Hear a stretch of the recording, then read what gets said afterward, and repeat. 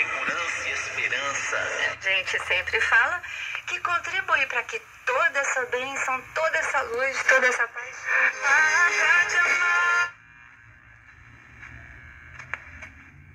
Três vezes por dia.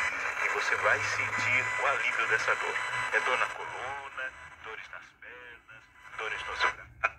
Bem, é, é no livro. É, é, quando, quando Kardec interroga os espíritos superiores.